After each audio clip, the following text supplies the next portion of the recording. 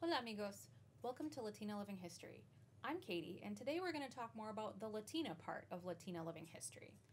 I've said before that I am Latina, but it hasn't been until the last few years that I've really sort of embraced that moniker for myself.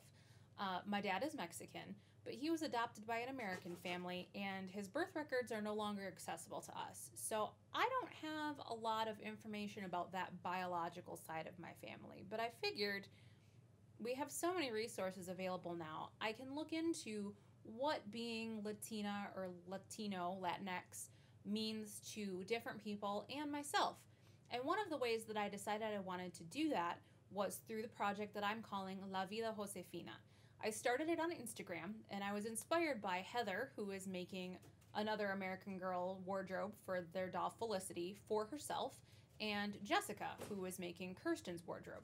Now, if you haven't heard of American Girls, obviously they're not a worldwide phenomenon, but they were a group of 18 inch dolls that came out in the 80s about historical girls. They were 8 to 12 years old, I believe, and each doll represented a different time period.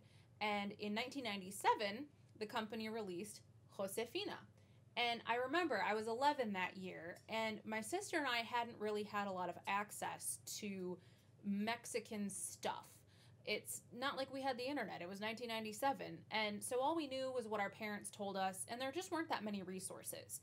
So to have this doll come out and she looked like us and she was Mexican and she had these fabulous clothes and stories and just this incredible world of knowledge and access that we hadn't had before really opened up for us and my mom was great we holly and i each already had an american girl doll that we had saved up for ourselves and we weren't rolling in it, so to speak, but my mom set aside money and bought the family a Josefina doll because it meant so much to us to have that representation. So, thumbs up to mom, really, really facilitating this historical thing and the Latina thing from a very young age.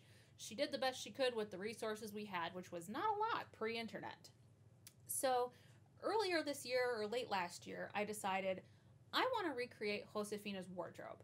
I'm really interested in the history of where my family comes from. And while we don't have connection too strongly to any living family members or anything like that, I can look into that history. I have the world at my fingertips through the World Wide Web, so why not start looking? So, in typical over enthusiastic fashion, I started diving into the clothes because that's how I got into living history. I really went through making and researching and wearing the clothing, and then got more interested in the actual history of different areas and different peoples. And Regency, which is the early 19th century, and Josefina here represents the year 1824, so kind of right at the end of that period. But that's one of my favorite time periods to make and wear the clothes from. So I was really excited because it's like a double bonus. It's Regency stuff, it's Mexican stuff, right up my alley.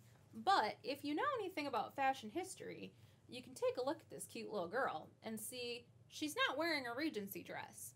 This is a very distinctive outfit that a lot of characters in her books, because each doll comes with a series of books to tell her story, they're all wearing this, all the women. And there are some more European influenced fashions that appear in the illustrations, but by and large, the women in her family are wearing this outfit. And it's not like anything that I had seen in my research into European fashion from that time period. So I was intrigued.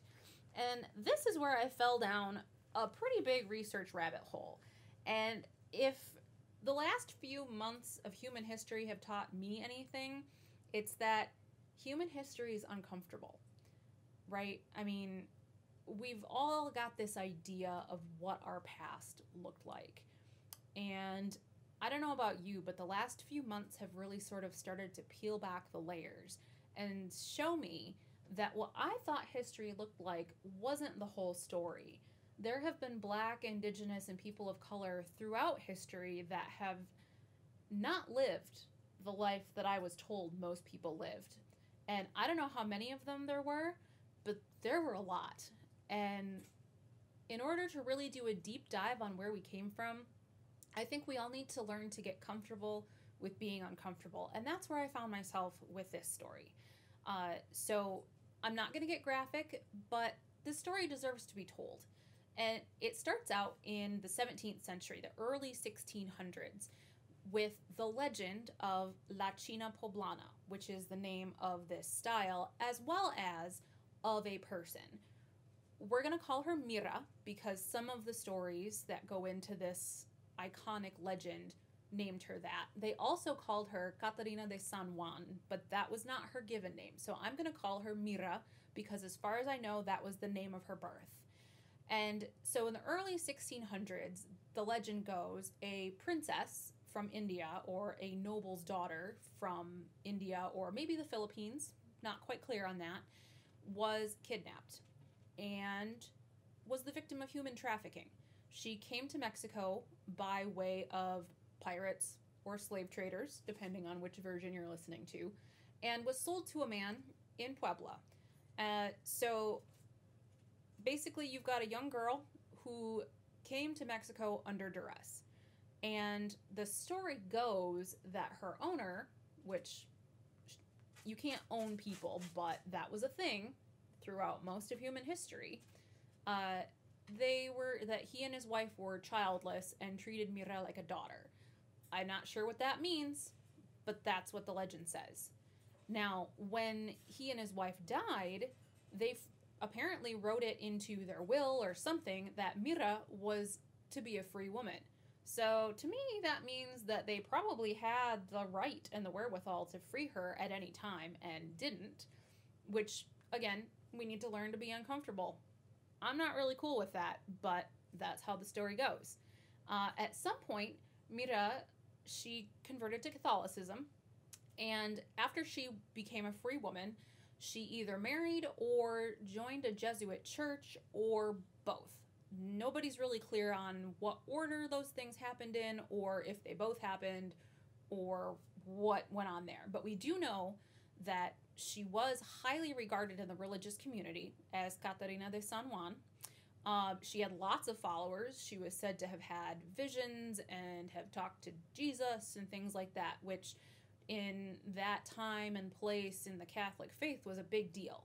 She did not become a nun, and she was not canonized as a saint because the European Catholic Church didn't like that. But she was very highly regarded and was buried in the sacristy of the Jesuit church in Puebla. So that means she was pretty important. People who mattered got buried in churches, historically speaking. So that was pretty cool. And now that's actually called La Tumba de la China Poblana. So it's still known as the Tomb of La China, which I should say, in that time and place, China just meant Asian woman. So it's not a woman from China, it's the Asian woman, and Poblana means from Puebla, which is the community where she lived. So La China Poblana is the Asian woman from Puebla. Now, how did one woman become such an icon, which eventually turned into an entire archetype of what it meant to be Mexican?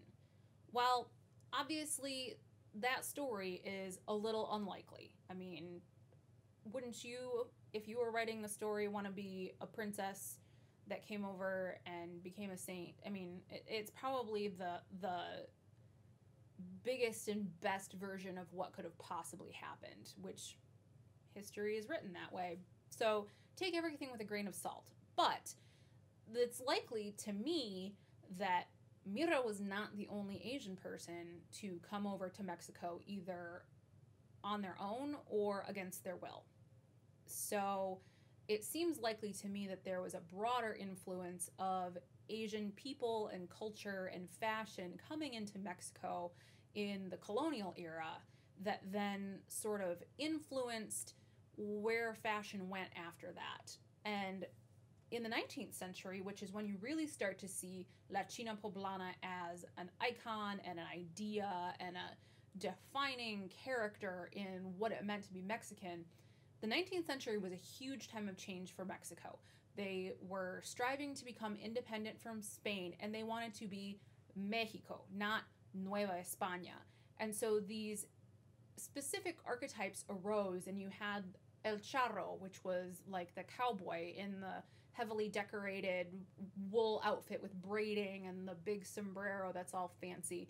And you had La China, And so that is what little Miss Josefina here is wearing. She is wearing a very common traditional costume that came out of this legend, but I think probably more likely it came out of a broader base of fashion influence. And if you go further back into the 18th century, there were these things called casta paintings, which showed the various castes in New Mexico and how various social groups and racial groups intermarrying created new groups.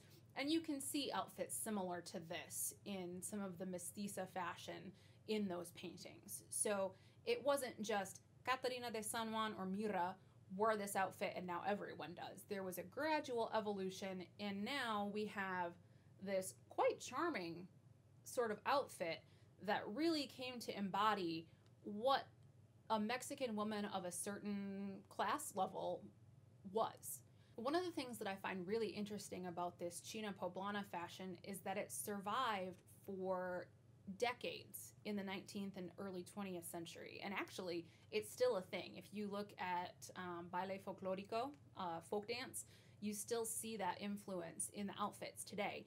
And to me, that's really cool because European fashion has these very specific fashion benchmarks that it sort of went through in the 19th century and 20th century.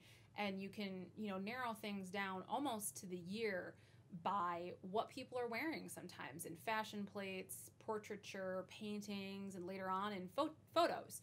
But this look, this China Poblana look, went throughout the 19th century into the 20th century, and people are still using it as folk costume. And it's not, it's not subject to change the way that European fashion has been. And that's somewhat the case for folk costume throughout the world, but for me, this one is is extra special.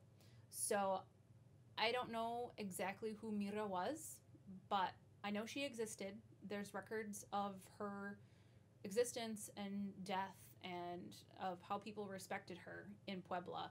And I hope that you can find a moment of connection through hearing her story. And I plan to find my moment of connection by digging deeper and exploring what it feels like to wear this outfit and the other outfits that are influenced by La China Poblana and the idea of who she was and what that icon became in Mexican history.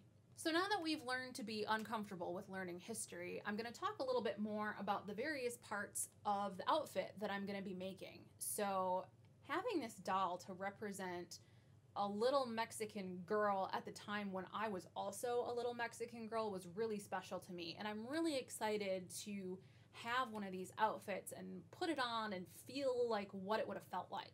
So, the first part in recreating Josefina's outfit was to break it down into its individual parts. And I'm going to walk you through them pretty quickly, but I've already started working on some of them. So, hopefully, I should have progress to show you soon. You can follow that on my Instagram account for this project. It's at La Vida Josefina on Instagram, and there will be a link at the end of the video. The first piece is her cute little camisa. Camisa just means shirt, but this is very common in any of the China Poblana illustrations that you'll see. Uh, Rich is going to put up a montage, and you'll see what I'm talking about. Construction wise, I'm approaching this like a shift or a chemise from the 19th century. I don't have any particular documentation for that, but I can also use it for other time periods if I do that. And I already have a nice linen that I've washed and ironed and then washed again when a cat peed on it because that's my life. I'm a little nervous because I've been doing living history for 16, 14 years now, and I've never made a shift that fits me. They're all like circus tents. So I'm gonna make a mock up. There's probably gonna be cursing, but eventually, I will hopefully have a cute little camisa like this one with cute little lace along the neckline and along the sleeves, and it'll be nice and cool and comfy. I've actually already started working on this skirt. I was super happy to find a red fabric with a really cute floral wreath print. And I posted pictures of that and a little more information on my blog, which is blog.katielovely.com, and I'll link it below. And that's actually almost ready to, to be done. I need to hem it because I've also made a petticoat to go under it. One of the defining features of the China Poblana fashion is that there's always some sort of a fancy petticoat hanging out from underneath. That's a definitely part of the outfit that's meant to be seen. So I made a separate petticoat, even though Josefina here only has a faux petticoat underneath her skirt. And I'm hoping to be able to use that for other time periods as well. But that's done and ready to go. Now I just need to put the skirt on over the petticoat and make sure that it's hemmed at the right length so that you can see the pretty lace on the bottom. There's also a woven belt, and weaving is a huge part of Mexican culture, indigenous culture to be specific.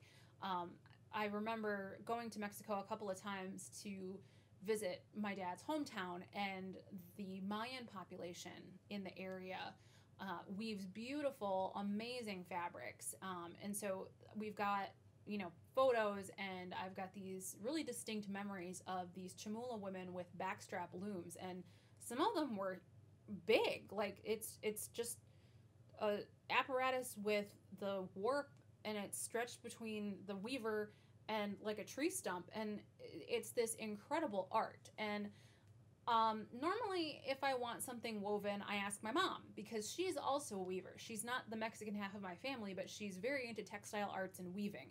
But this belt, this belt right here on the doll is cotton, but it's likely that an actual belt of this type would be wool. And my mother is hideously allergic to wool. So if I want an accurate belt, I'm probably going to have to learn to do it myself.